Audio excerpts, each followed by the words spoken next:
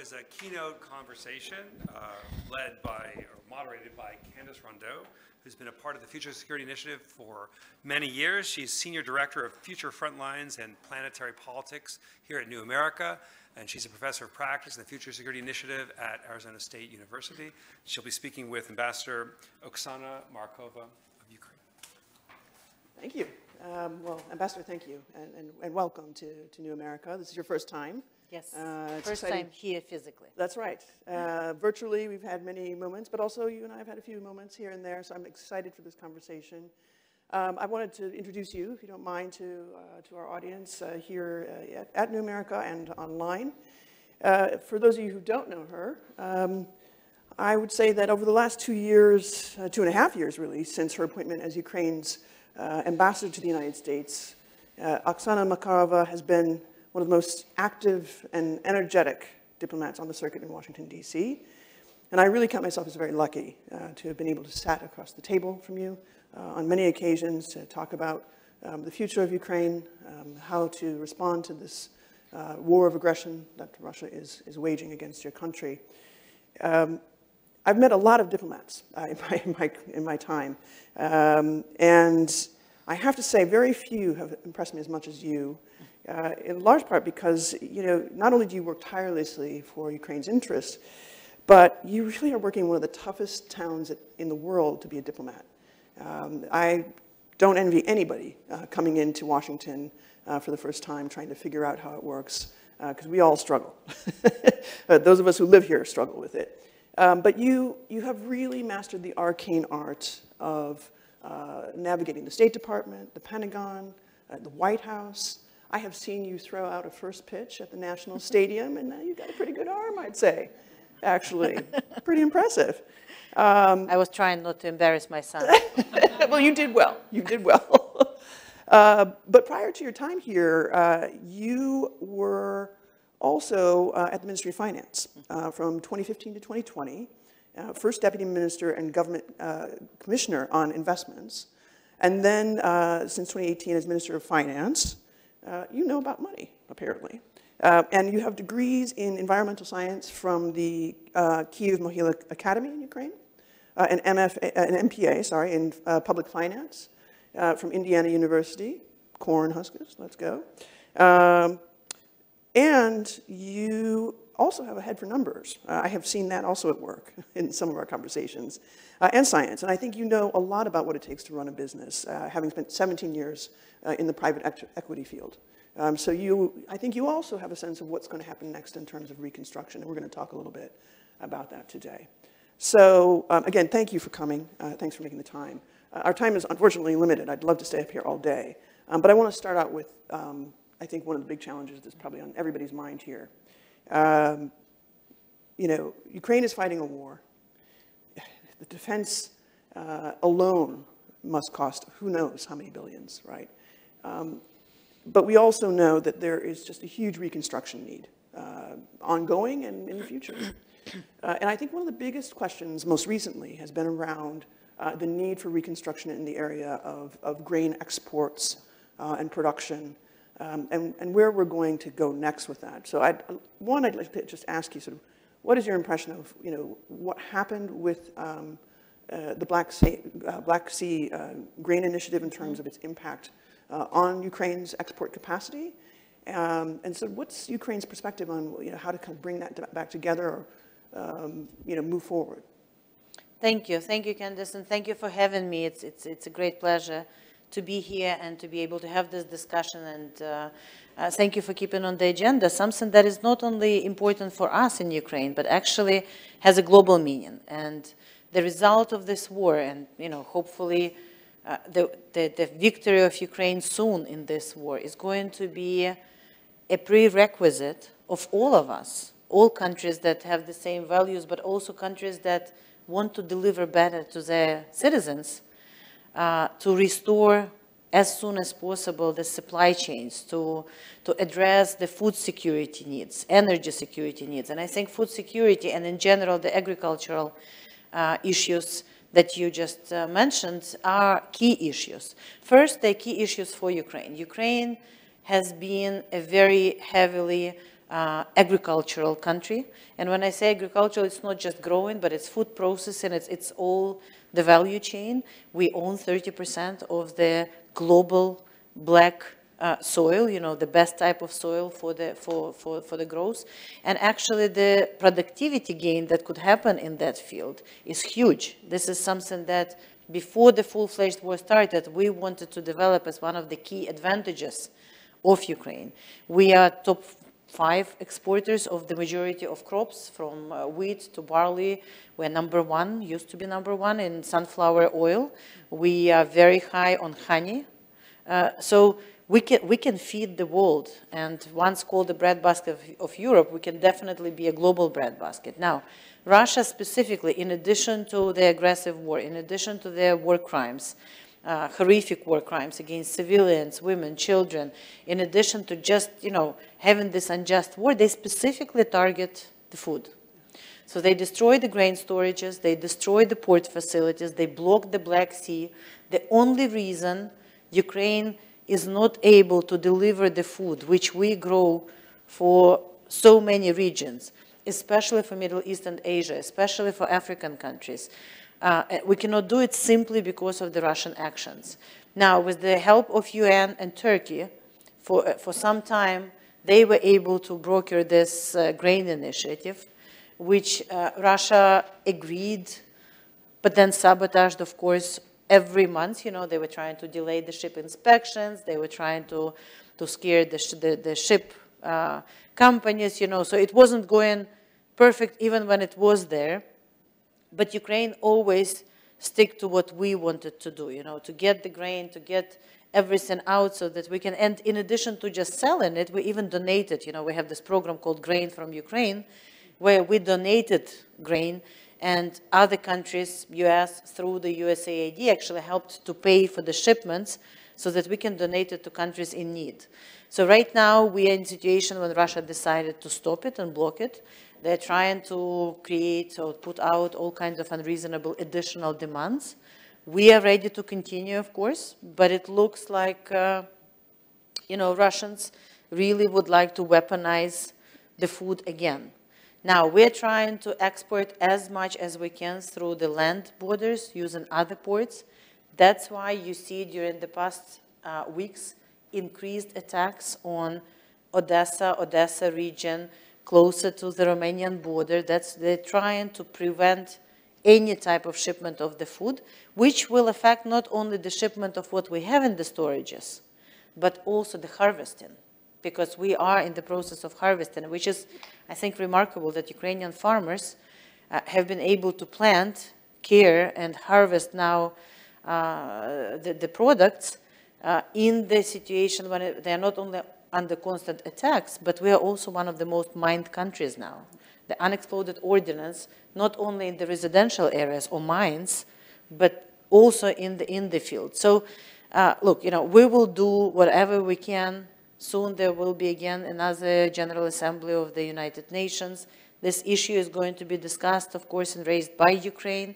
We are trying to communicate with all of our friends and allies, especially in, you know, what people call the global south, you know, essentially saying we have to be very vocal, we have to press on Russia, we have to tell them that we know who is behind this, and uh, they have to stop not only this aggressive war against Ukraine, but they have to stop threatening half of the globe with, with the food crisis because it's serious. Yeah, it is extremely serious. I mean, as you were talking, I was reflecting on um, a long ago visit to uh, the Museum of the History of the Holodomor, mm. uh, which is a remarkable um, place in, in Kiev. Uh, very striking if you've never been there. I will just tell you it, it lies uh, kind of on this open uh, sort of uh, square where there are tremendous monuments and, and historical museums of great value. But the Holodomor Museum, to me, is interesting just in the context of food security, the weaponization of food, uh, this constant refrain of, of, Russia to return again and again uh, to the food as the weapon uh, mm-hmm. historically is, is um, well, it's, it's tragic, uh, but also uh, I think it should be a lesson to us all that actually, as the, you know, the conflict continues, we should just expect that to continue on some level from Russia. Um, So there are some, you know, there are some challenges ahead, as you say. Uh, I know that other people are going to also have questions about um, just kind of the humanitarian crisis, because of course this relates uh, not just to food security, but human security. And um, I, again, just want to remark on how st- struck I was. Many war zones, you name them, with the exception of Iraq, I think I've been to all of them. Uh, And so I, I'm just curious to sort of, for me, it was interesting to see how well the civilian response um, was sort of coordinated. I wonder if you could talk a little bit about the humanitarian situation now, um, what you might predict for the future, the winter's coming up. Um, What's, what's needed? What's, uh, what are the challenges that you see? Well, yes, on the, you, you, you noted the Museum of Holodomor, which is, you know, striking that this year is the 90 years mark of that tragedy, when Russians denied food, took all the food, and people were dying from hunger. And this is, this is probably the most cruel, uh, you know, this and children, when you live in the country where literally food grows everywhere, and, and, and to create artificial hunger in the place which was the source of food for so many neighbors, not only for, for itself, is a very cynical and very cruel, uh, you know, war crime. But again, not surprising what we see now, because unfortunately we have a history of war crimes of Russians, whether it's Russian Federation, Soviet Union, or Russian Empire against Ukrainians. But with regard to the humanitarian situation, on the one hand, it's a very unique, I would say, war, because I don't think we will find many wars when the government continued to execute its functions and never stopped it, not even for a day. So yes, where it was under occupation, even there, our mayors tried to execute their functions and be with people and try to deliver food and organize something. That's why so many of our mayors have been kidnapped by, by Russians, tortured, or even killed, uh, especially in the areas which they occupied and which they stay occupied. But in general, all the areas where we have the control, and as soon as we liberate, there is Ukrainian government there, both national and local. And all the society, and that's another key element, you know, this, the civil society that work together with the government. So we are trying to address all these challenges with the help that we are receiving from the US. But that's why, you know, for the first time, actually, in our 32 years history, US is providing us with the budget, direct budget support, the grant direct budget support. And this money are actually humanitarian money. They used to pay the salaries to to uh, educators. They used to support the IDPs. They used to, to provide the basic needs for people. And it's done by the active government. Our banking system never stopped working during the war. During this war, Ukrainians, especially when there was, the Russians were advancing at the beginning and occupying, people were actually putting money on their accounts. Yeah and throwing their cards and trying to move to the territory which Ukraine controls because they knew that that's how it, it will be kept safe. Our digital system, you know, Diia, uh, which we have on our phones, so we don't, you don't need to have passport or driver license with you. You have it all in your phone. And that also allows us to communicate directly and to send money directly to people through this app, essentially governmental app. And we have more than 20 million Ukrainians that are communicating with the government like that. So this is unique that we are trying to use the digitalization, the, the innovations, and the government is adapting to this situation. On the other hand, of course, it's a humanitarian crisis of massive proportions. So yes, we're able to do and to use the help that we are receiving from the US and other partners to, to utilize it. But then anything you look, not all of our schools have bomb shelters not all of them had. And we need that in order for kids to continue their education. The majority of our kids are behind in their vaccination schedules, of course. Uh, the majority uh, of people with very like rare or the diseases that require daily care, you know, the, the different type of cancers, the people who require, uh, who are on the uh, different type of daily supports like uh, dialysis or something like this they cannot get it. And not only under occupation, under occupation it's, it's a total disaster. That's why people are killed and, and tortured and not have the access to basic needs. But even in the places where uh, you know, either close to the front lines or everywhere. The need is pretty much in every sector, whether it's healthcare or education or transportation. And plus, not to mention, every day Russia is trying to shell the infrastructure. Russia is trying to attack civilian objects, but also others. Uh, there are more people that are killed or wounded. We have uh, extreme number of people who lost their limbs, and it's not only the, our brave warriors, but it's also civilians throughout. And of course, preparing now for the winter, we remember what happened last winter, when Russians specifically targeted the energy system in order to create the blackouts and to create the situation when either there will be additional waves of uh, refugees because you cannot stay under, I mean, unfortunately, Ukraine has cold winters. And uh, when you don't have the electricity or energy supply, it's not just about cold. You don't have the, the water supply, you don't have sewage, you don't have any other basic needs, and that's, that's a very, very uh, difficult situation. However, and I just came back from Kiev five days ago, I was there when Secretary Blinken visited, the resolve of Ukrainian people is still there. I've seen it when I came back after Bucha was just liberated. It was April 2022. I've seen it in September when I was there. I've seen it in December 22. It was cold and dark. And, and I've seen it now, and it's, it's been throughout the 17 months that people say it's difficult. Uh, it's, it's horrible, it's uh, many losses, but nobody uh, would say, uh, you know, that we shall surrender. We all know that, you know, surrendering for us, it just means that we will all die, and fighting is at least we have a chance to survive. And, you know, this resolve to fight is still there, resolve to do everything possible and sometimes impossible. Yeah. Yeah, that resolve certainly comes through, and I, I actually was going to ask you a little bit about, uh, just as a small follow-up, uh, on the work being done, I think with the help of the U.S. and maybe some others, on kind of building more resilient infrastructure for uh, electricity in particular. If you could talk a little bit about Yes. that. Yes, uh, we actually are working very actively with the State Department and Department of Energy, and USAID is the, of course, part of this group. So we have, like we have Ramstein meetings on weapons, we have literally weekly meetings on energy coordination. And what we're trying to do, and that comes a little bit related also to the reconstruction post-war, uh, is, uh, and to steal your president's uh, quote, build back better.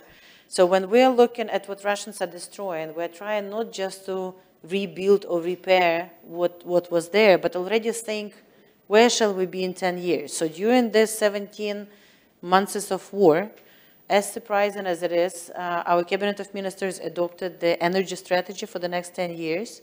We agreed how we will replace the coal mines and everything else which have been destroyed with the renewables, and we will change our mix, and we will continue developing our nuclear stations, which is the base for Ukraine. So we, a little bit more than 50% of in our mix comes from the nuclear, and Ukrainians are very, um, you know, uh, professional in, in, in the nuclear energy field. And when we are talking to all of our friends and trying to get this additional transformers and, and generators and everything else, of course, I mean, it's not something that is on the shelf and you can pick whatever you want. It's, it's something that you, it's, it's rare commodity even without the war. But when we're choosing between different options, we already are thinking, is it in line with this 10-year strategy? Mm. Is it in line with our post-war reconstruction vision? Because we can, we want, after we win, and there will be big need to rebuild, and the, the, the destruction is uh, really big, especially in the areas which has been occupied for a longer time. We want to do it in a way that we can leapfrog from where we have been in 2022 ahead already. So in all the sectors which are critical for Ukraine, like agriculture, energy, uh, IT and digital, to do something that is 22nd century, you know, you know, to do something that we can get more business to come to invest because, you know, let's, let's face it, uh, just the recent study of the World Bank and they're doing this rapid uh, damage, uh, um, rapid damage uh, report. So it's called RDNA So the damage, just the physical damage, not, not the losses of the profits, not just the physical damage of what they have assessed was destroyed by Russians uh, during the first full calendar of the full-fledged war as of February 2023 uh, amounted to 411 billion US dollars. It's, it's actually, it's not taken into account a big environmental damage. It's not taken into account into the mining that has to be demined. It's not taken, it's not yet, it, it doesn't include the destruction of the dam, which actually is not just a simple environmental catastrophe and, and the losses that were right there for the water that was rushed uh, down south. But that reservoir was the source of the water for the agricultural district and for many uh, towns and cities. So the overall long-term effects are going to be also big. So, you know, the damage is huge. And in order to repair, we of course would welcome any help from our friends and allies. But the question whether we will be able to leapfrog and do it is going to depend on will we attract business, Right. compliant, large business that will come and, and will do it together with us. Yeah. And, and that's why we have to open the door for all these innovations and do it in a very inspiring way so that we can become a hub for these innovations in our part of the world. So interesting. I mean, that's one of the paradoxes of war, isn't it? It- that- I mean, that um, it forces so much loss, but then after the fact, oftentimes there is a leapfrog uh, in all kinds of ways. Sometimes social, sometimes uh, you know technological, uh, in- industrial. Um, but you, you, you mentioned something actually that uh, you touched on Ramstein, uh, uh, which maybe people in the room don't really know what that is. Uh, but if you uh, if you've spent any time in Germany, you will know that there is a base called Ramstein. Uh, it used to be an expo for, for a lot of folks coming out of Afghanistan. Uh, probably still is for most of the Middle East. And uh, a very important uh, tie-up, lash-up for uh, the collaboration and coordination of weapons transfers to Ukraine's uh, frontline fighters. Um, we know that there's been a big decision uh, recently on the sort of big list of items that you were looking for in Ukraine. Uh, we're getting close to two, in fact. One, we have the Are you talking about this one? Yeah, that's the one. when did you pin that on? Uh, before the decision. Yeah, that's interesting. it was like a magic talisman. So uh, Denmark, uh, Yes. I believe, uh, has come Netherlands. through. Netherlands Netherlands has come through. Um, what do you think? I mean, what are you hearing from your colleagues uh, in, in the defense side about the impact of the F-16s? Uh, what will it take to kind of get everything up and running? Uh, what do you predict uh, will happen in the next year? What, we, what we should, should we look for? Well, first of all, you know, as you know, we have been since February 24th working on the very long list of capabilities. Unfortunately, we are fighting with not only brutal and criminal enemy, but also enemy that is much larger than us. So with all the support that we are getting, Russia is still, you know, they, people-wise, and the methods they use to conscribe, you know, they can pretty much force uh, any amount of people, whoever they can catch and whoever uh, did not leave the country uh, to, to, to send them on the front line. But also they have a lot of weapons. yes, bad Soviet type, you know, sometimes not working, but the quantity sometimes is a quality in itself. So um, the, the list was large, and first we were using both our old Soviet type of equipment and some Ukrainian equipment, and then started getting Hi. the javelins and stingers and then everything else. And now we are almost uh, 100% using the NATO sta- standard equipment. And to get more capabilities is very important because, you know, as military people say, you know, it's on the one hand, it's a very World War One type of war, you know, like it's it's an artillery duels on a very long period, very mined.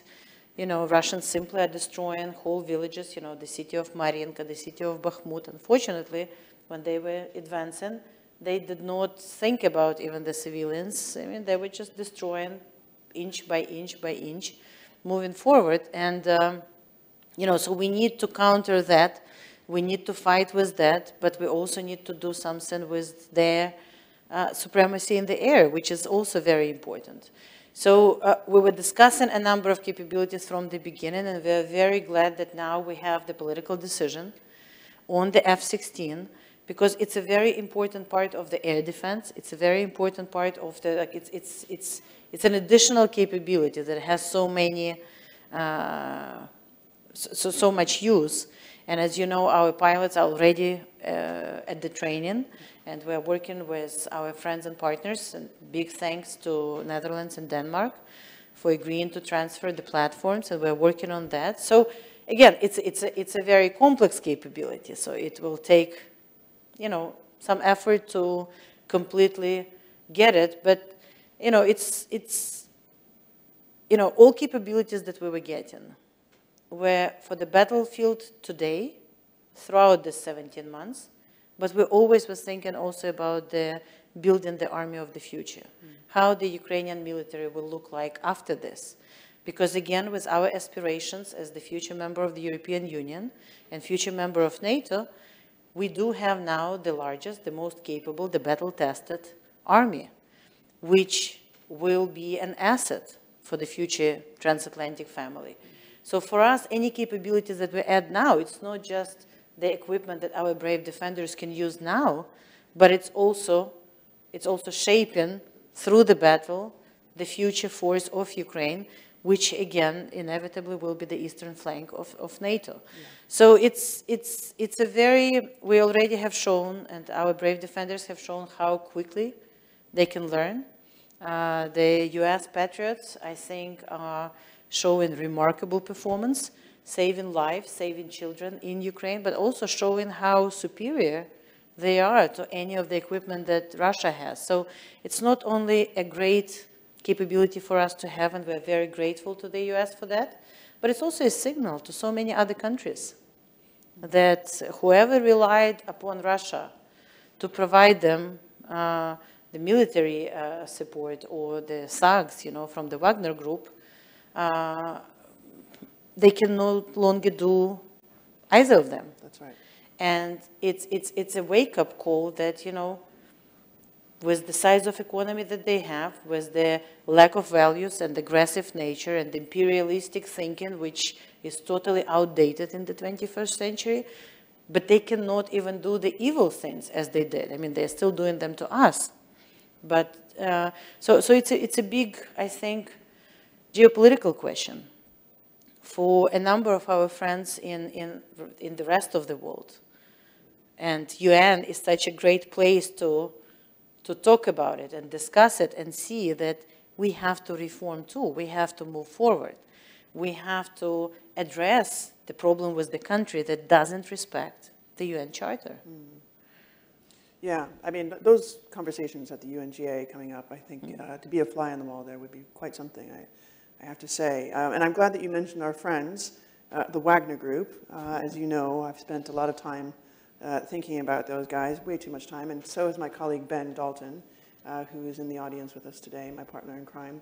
A lot of folks in here actually have been very much uh, part of the conversation about the Wagner Group, uh, not only in New America, but uh, certainly I think in the United States uh, and other places where people are paying attention.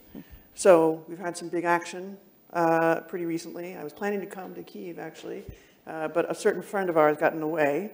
Um, Yevgeny Prigozhin uh, and Dmitry Utkin, the, the operational commander uh, of the Wagner Group, and of course uh, Valery Chekalov, uh, who was kind of the money, money guy, um, all killed, uh, yes. along with four bodyguards uh, and apparently a set of innocent crew members as far as we know. We don't know. Mm -hmm.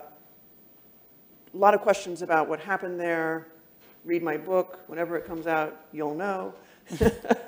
Uh, I I have some thoughts on it, but I, I, will say the question that I get asked now continually, and I would like to ask you, is, okay, they're dead, um, but the Wagner Group, we all know, has been linked to a number of war crimes, mm -hmm. uh, countless really, actually, in the Ukraine context, and we can't, we can talk about Syria and so forth. Mm -hmm. um, so what's next with kind of accountability for uh, Wagner operatives? Uh, what do you think is, uh, has changed, and then where are we going with accountability and justice where they're concerned? Uh, there is no last and lasting and just peace without justice. And as you know, President Zelensky, when he says, uh, talks about the peace formula, justice is such an important element of that. So uh, there we will do, we will not leave any stone unturned. Uh, so I will come back to Wagner, but in general, uh, we are doing the criminal investigation in Ukraine. The prosecutor general is doing a remarkable job. We have more than 100,000 individual cases that already are opened at, by, the Ukrainian legislation. US is helping us a lot, and by the way, Netherlands, on uh, um, uh, data collection and evidence collection and also how to talk to victims because a number of these crimes are the sexual crimes or the brutal executions of civilians or tortures and you have to do it also in a way not to re-traumatize the, the victims. So um, we're doing this and we are not only investigating, we're also already in the courts. And some people are not only indicted, and some people are indicted in absentia, and some people who we caught, you know, the prisoners in Ukraine, but they are also sentenced.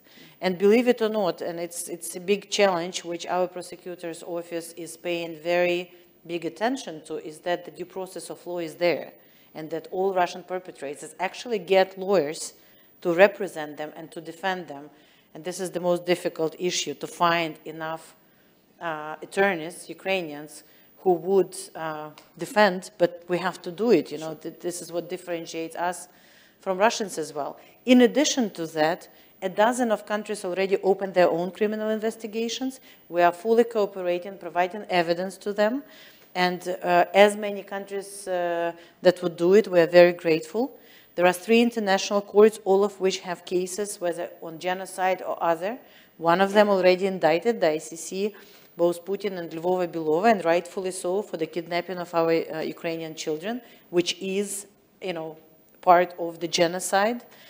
We are working very heavy, actively on the crime of aggression, which is the mother of, the, of all the crimes, you know, and it's a very well documented crime because Putin did all of that online, literally. He was publicly documenting every decision that he took, which led to announcement of this uh, special military operation, i.e. war, uh, and then he acknowledged the same actions in 2014 and 15 uh, after he stopped pretending that it was some green man in Crimea, you know, and then he said, yeah, yeah, of course it was us. So, um, so this is very important. And uh, frankly, I mean, of course, the prosecution in Ukraine goes faster. The international courts will take some time. The crime, the tribunal for aggression will take probably even more time, but it doesn't matter. People need to know that, you know, each of this crime will be in the court of law and that there will be accountability. Now, coming back to those who are dead. Yes, you know, the leadership of the Wagner Group is uh, brutally executed in a very public way on the two months anniversary of their uh, walk uh, to, to Moscow. Uh, but, you know, uh, they were not the only ones who were committing the crimes. Uh, the thousands of Wagner operatives which, uh, again, very documented, very well documented. Uh, in Ukraine, we have uh, a very big base of the evidence, uh, but all Russian troops as well. So it's not just some rogue units. It's not just some this private type of military uh, units, which again, we know they're not really private. It's the Russian army and the Russian armed forces and the Russian president who created them and who were providing them with weapons and who were giving them instructions. And yes, there were some disagreements between Prigozhin and Shoigu, but it's more a quarrel between you know, the different lines of the same kind of organized crime organization rather than, you know, really state and the private um, doing it separately. So um, we'll continue investigating, we'll continue indicting them. There are other private groups not as successful, although I don't know whether successful is the word to use, of course, uh, but not as capable. But there was attempts by Russians to create these groups, and there are a number of them. Right. We just didn't hear. They still are operating outside of uh, Russia. I mean, hopefully without a, a, capable, although evil and criminal head like Prigozhin, we will see decline of the use of the thugs mm -hmm. in, in African countries and others. Uh, but if not, then justice for everything they've done in Ukraine will also help us to get them out from so many uh, criminal missions that they have throughout the, throughout the globe. So, you know, I, I think it's a very important issue. And to get justice, regardless of how much time it will take, is as important as winning this war. Because that justice, wherever it will be served fully, will be the final victory in this war, together with the reconstruction. No justice, no peace, Absolutely. right? That's how it goes. Well, we're getting kind of close to time, and I know that there's probably a question or two um, in the audience, so I want to open up the floor uh, and and maybe get back to the question on um, the ICC and uh, the question with the children and what's going on there. But let me um, go to the audience first. We'll go with uh, my colleague, Peter Bergen. Uh, Thank you. Um, You know, Candace mentioned, uh, you know, all the amazing work you're doing in Washington. Um, A a potential problem, of course, is the presidential election of 2024. Quite a number of the Republican candidates are sort of saying that they, uh, implying that they would reduce or maybe even end aid to Ukraine. I think 71% of Republicans now say uh, aid to Ukraine should stop. So how do you deal with this sort of American political scene where the Putin is surely looking at these polls and making his own conclusions? Well, first, elections are very important for any, in any democracy. And this is something for what we're fighting in Ukraine, for democracy, for the ability to choose our government and to change it on a regular basis. And uh, I would never call a, an election a problem, to be honest. This is what uh, people should do, and this is the basis of all of us continue development, whether we like the results or not, right? Uh, so, um, first of all, I, I have big trust in American people, uh, regardless of party affiliations. When we explain it to people, uh, I always feel the support. So when we tell people why, and we tell people the more information about what's going on, and we tell people that we are fighting for our homes, for our loved ones, that we were attacked by a brutal bully with no pretext, with no reason whatsoever, that it's very much our own war for independence and freedom, I think the majority of Americans understand and feel it. Because this is what Americans have in them. This is what this country is built on, these values.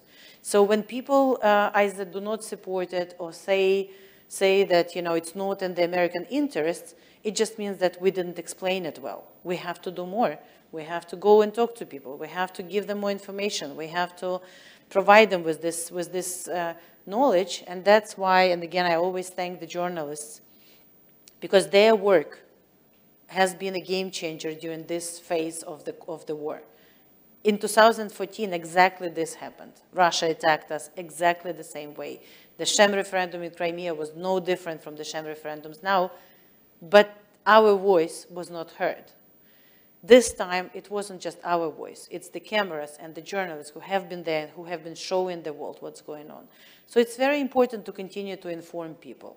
By informing people, we also have to tell them more about how the American help to us work. That yes, there is 113 billion that Congress very uh, generously appropriated to provide for the Ukraine and related to Ukraine support. But not all of that money goes to Ukraine. Uh, so yes, we are getting the direct budget support, which is about slightly above 10, 20 billion, for which we are very grateful. Of course, again, I, I always say how grateful we are. Uh, so that is the money we are getting in order to be able to continue the fight and sustain, sustain the effort. All the defense uh, assistance, which is much larger than this, we're not getting the money, we're getting the goods. And a number of uh, resources that Congress provided goes to replenish the uh, stocks of the Pentagon. It goes to increase the production here. I just uh, recently, last month, visited the Lima, Ohio plant, which pro produces Abramses. And I have to tell you, you know, it's, it's additional jobs there. And uh, the majority of people in that plant, I mean, I felt like I'm visiting friends there because they are proud that they are producing this excellent American capability and that we will be able to do it, similar with the plants that produces Bradleys.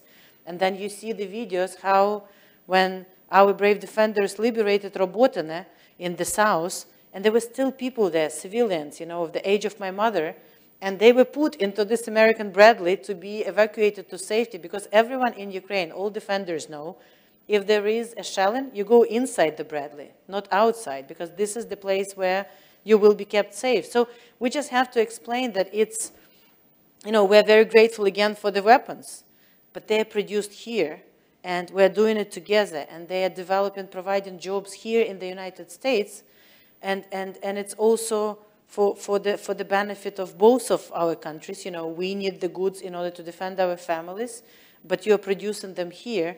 And third, which is also very important, you know, we are defending not only us, we are defending the whole European uh, part, which Putin has been very loud and clear that he wants to attack and he wants to, uh, he has problems not only with Ukraine, he has problems with everyone who was able to, to get out from this empire, uh, the Russian, the Soviet, or whatever you call it. So he threatens sometimes Poland, he threatens definitely all Baltic states. He was talking how the Finland and Denmark are no friends uh, and stuff like that. So, um, you know, right now we are defending other, including NATO countries, uh, at a very modest, I would say, military budget, just and and we are doing it ourselves. We're not requesting any of our friends to fight for us. It's we don't need other boots on the ground. We just need the weapons. But if, God forbid, we fall and uh, Putin occupies completely Ukraine and, and kills us all, he will not be stopped. He will be emboldened by this. And he will inevitably go further. And then, unfortunately, a number of NATO countries will have to help to defend other NATO countries. So the, the fastest and the most um, efficient from the financial standpoint, this is the Minister of Finance and me talking, is actually to help Ukraine more to stop the war now while it's still in Ukraine. So whether it's the moral argument, whether it's the shared values, whether it's the effectiveness and efficiency argument, because it is in the US national security interests to defeat an aggressive, uh, autocratic regime that not only attacked Ukraine, let's keep in mind that they have attacked Georgia in 2008, that they have co committed horrible crimes in uh, Syria, that they have poisoned people in the streets of the United Kingdom, that they have interfered and sent their Wagner thugs into so many other places, uh, not to mention all the crimes that they have committed while they were in the form of the Soviet Union so many wars and so many. So it's, it's in all of our civilized people interests to live in a safer world, which will return to the security architecture that we had after the World War II, because that peace, and again, I do not imply that the peace was everywhere, but at least the lack of a great war, which would involve European uh, continent has been a basis for the prosperity that we all enjoyed in the collective Western countries and in some newly, newly developed uh, economies.